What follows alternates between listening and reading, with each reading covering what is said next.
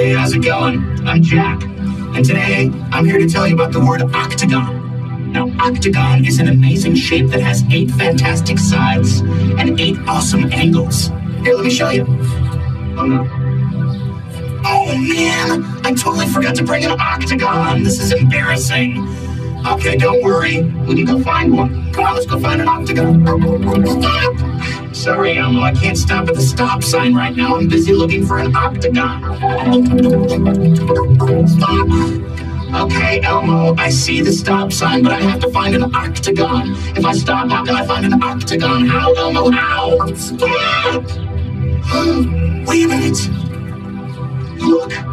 Stop sign has one, two, three, four, five, six, seven, eight glorious sides, and one, two, three, four, five, six, seven, eight stunning angles. The stop sign is an octagon. We found an octagon. Octagon.